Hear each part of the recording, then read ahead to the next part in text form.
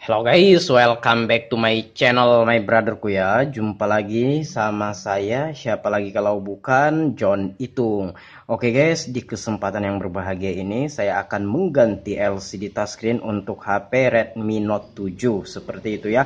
Dan di sini kita lihat LCD touchscreennya udah hancur-hancuran di sudut kiri atas ini. Oh, dan gambar LCD-nya kayak gitu guys ya.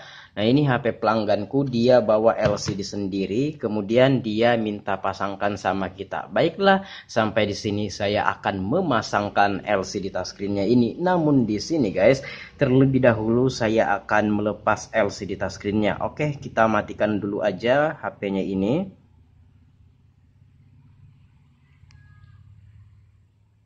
Ya ini kadang tersentuh-sentuh sendiri guys untuk touchscreennya kita matikan daya ya.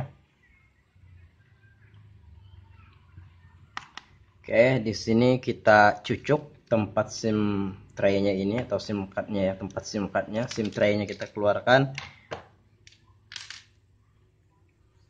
Oke, kita ambil ini guys ya, eh, backdoor-nya sini yang paling luar sini.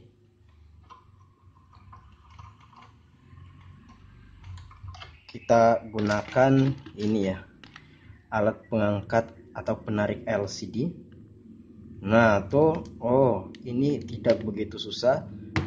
Oh, terpencet tombol power ya.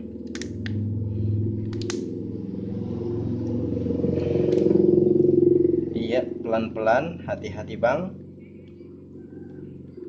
Hmm, di sini ada kabel fleksibel ya, fingerprint. Oke, hati-hati bang ini nampaknya pernah dibuka juga. Ini habis dilem juga nih. Oke di sini kita lepas dulu guys ya. Soketnya ini soket fingerprintnya. Hati-hati bang.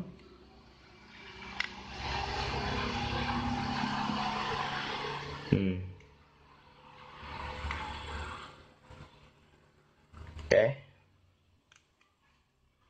Cara membukanya seperti ini tinggal kita congkel ke atas dan ini tinggal kita tarik kabelnya ini. Nah oke okay, kayak gitu guys ya bersambung di soketnya sini. Oke okay, dan backdoornya sudah terlepas ya.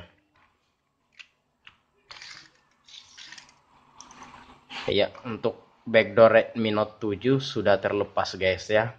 Dan ini Sepertinya bekas lem juga pernah dibongkar. Ini pun masih eh bukan masih segel sih, ini sudah jebol segelnya. Tuh perhatikan guys. Oke, lanjut di sini saya akan membuka ininya, casingnya ini. Eh, coba kita buka dulu kabel fleksibel LCD-nya ini guys.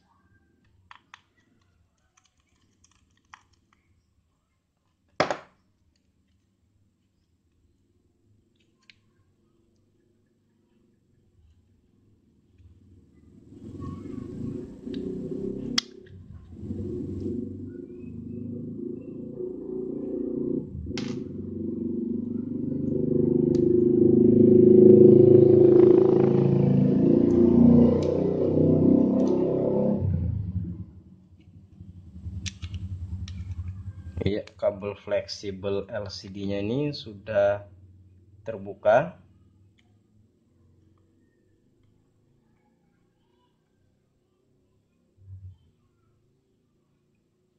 Oke, coba kita buka dulu ini yang di bawah ini. Ini juga masih segel. Ini masih segel ya, kita jebolkan aja.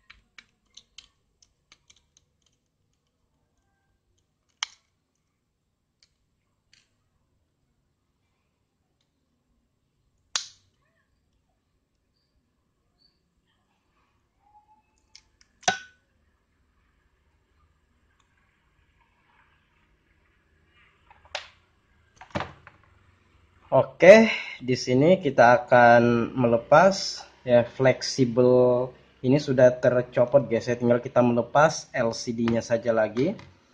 Oke, dan kita amankan dulu semua kabel-kabel ini.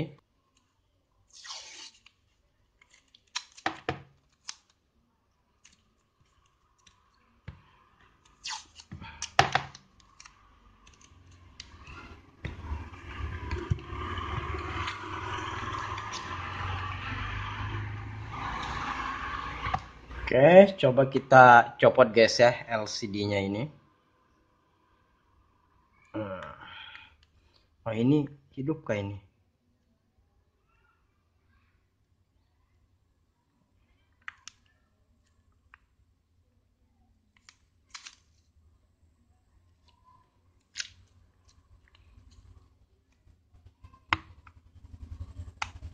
Hidup tadi guys ya, coba kita lepas kabel fleksibel baterainya untuk mematikan guys ya. Ini malahan sudah saya copot nih. Oke.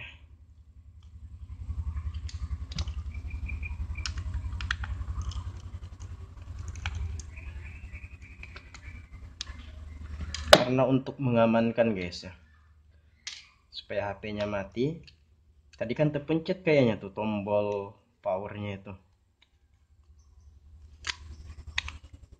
Oke kita akan membuka LCD nya